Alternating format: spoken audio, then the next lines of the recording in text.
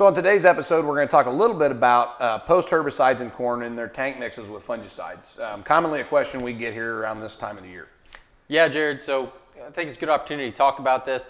One of the reasons that we see this, this question come up is a lot of growers are looking for an additional step that they can look for to really push those yields beyond what their practices that they're currently using. And one of those is throwing a fungicide in at that vegetative timing. Uh, we have seen some, some responses from that, some positive responses, for example, with Priaxor fungicide at that early vegetative timing in corn, uh, showing anywhere from a five to eight bushel response at times. So it is a viable option for throwing in there. And one of the best benefits is that typically at this time you're already making a herbicide pass to control your weeds. So it's throwing in that extra benefit with kind of a, a free ride, right? You're not going out there with an additional pass uh, or anything like that. You're just throwing it in the tank. But that being said, there are some things that we got to keep in mind if we're going to utilize a practice like this to make sure that it's successful for both weed control and for trying to drive that additional yield. Yeah, and, and one of the things I commonly tell my growers that are asking about this type of combination is, you know, let's not sacrifice the purpose of the trip, right? We're, we're, originally out there for weed control, and yeah, I want to drive yields, but if we miss that step and we don't get all our weeds killed, there's not many more opportunities in that late post window to go out and do it again. So we, we need to first and foremost on the post side kill our weeds. So make sure we keep those dialed in and we're getting the proper coverage that we need to, to kill our weeds. And then if we get this free ride, that's great. So with that, you know, don't sacrifice nozzles and I also say just keep our gallonage up because when we start to use these fungicides in there, we want a lot of plant coverage on the crop this time. You know, we've talked about weed coverage on the weeds, but now we want to talk about it on the crop as well. So making sure we use gallonage to our advantage is really, really important. And the second thing is that we've noticed is if you've never done it before, you may want to do a jar test you know, Priaxor is very good at mixing things, but you know, mixing order is important, and make sure you understand how that goes in your sprayer. Will lead to a lot of success when we go to this this type of application. So, you know, when it comes down to to it as well, Mike, you know, the proper timing has a, major effect on when we see this fungicide sure. response. And so, you know, I guess to be clear, we're not talking about a V2 or a V3 when the corn's only about that tall. Right. You know, we're, we're looking at more of that taller corn stage, right? Yeah, absolutely. I mean, we see so much success from our, our tassel applications of fungicides that the closer we can get to that, I think there's added benefit to getting that fungicide out closer. So if we can find a way to make that happen where we're getting our herbicides out later or closer to that tassel timing, still within the cutoff, of course, but still getting that fungicide in there as well, I think that's where we're going to increase our chances of seeing a positive response.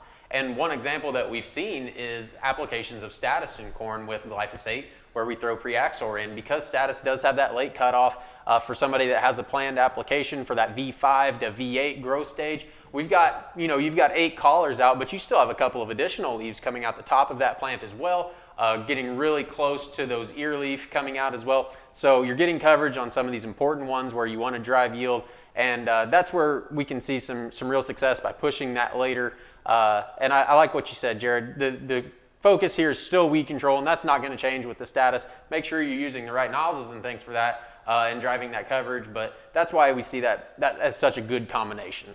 And I want to reinforce a, a, point you brought up there, Mike. I think one misnomer is that sometimes we can spray a corn plant that's, you know, maybe knee to mid thigh high and get protection all year long. But one of the things that we know about fungicides is they don't really move into tissue that's not there at the time of the application, whether that's in corn or soybeans, right? So that's why delaying that and not going after that V2 timing is important. We want to get those more important leaves.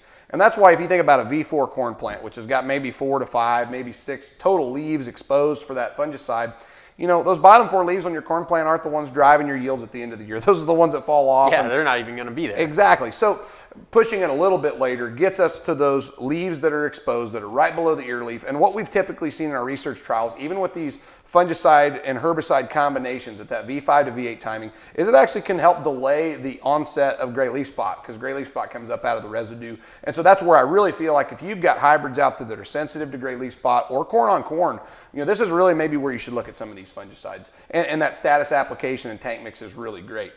Um, but you know, we talked a lot about status here, Mike, and I noticed you're wearing your Armezon Pro shirt.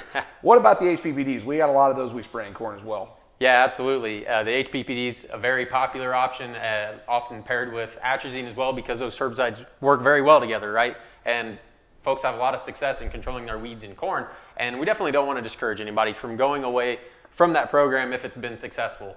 But we do want to caution that if you are going out with a mix that involves an HPPD herbicide, uh, as well as atrazine, that we have seen from some research plots by throwing in a strobilurin fungicide in there with that, you do have a potential for crop response. Uh, typically what we see is a bit of a, a leaf burn or an oil flash type look. Uh, typically don't see any yield response or yield drag associated with that, uh, mostly cosmetic, but it's something that's still not very aesthetically pleasing and, and, nobody likes to see burn on their corn, right? No, and to be clear too, Mike, just it, it doesn't, it's not specific to any specific HPPD or specific strobilurin fungicide, sure. right? It's that combination of any strobi with any HPPD with the atrazine.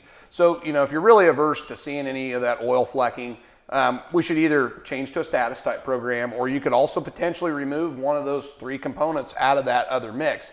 But again, don't forget, we don't want to sacrifice our weed control. Absolutely. So again, I think we've got a really good option here to, to help drive our yields with, with fungicides, but let's not skip the step of weed control. And I think in summary, as we kind of bring this session to a close, you know, look at what Priaxor and other fungicides that out of the BASF stable, including Veltima, which we didn't even really mention until now, can do for you in this early timing. I think they're great tank mix partners, but don't forget, weed control is still our number one objective at this post timing in corn. Yeah, Jared, uh, couldn't agree more. And one thing that I want to throw in there before we wrap this up is this still does not take the place of your tassel application of your fungicides either. That's still where we see that as the optimum timing, uh, the best chance to get a, a yield response or, or, optimize that yield. Uh, this is just an additional way to try to drive yield beyond what you're already doing.